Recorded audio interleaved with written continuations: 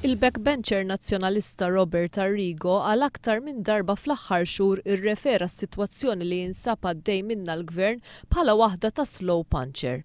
Fis-sigħat li għaddew, one News staqsa lil Robert Arrigo jekk fid-dawl tar-riżenja ta' Geoffrey Pullicino Orlando mill-Grupp Parlamentari Nazzjonalista għadux tal-istess opinjoni, iżda t-tweġiba ta' Arrigo kienet din. Il-puncher, il-puncher is-sewwa. Sunday u ħammur il-baħar. Ma sewwa l-panċer Robert issa. Mor il-baħar.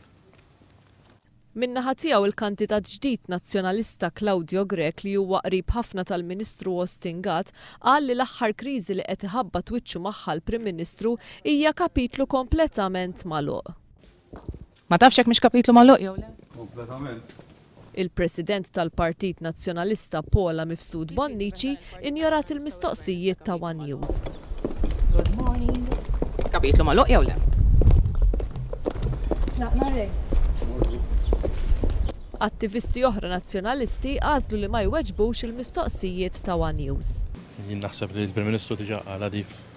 Imma x'inhi l-opinjoni tiegħek?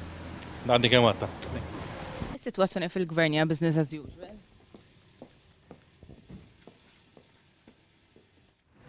Taqbel li s-sitwazzjoni hija waħda ta' business as usual?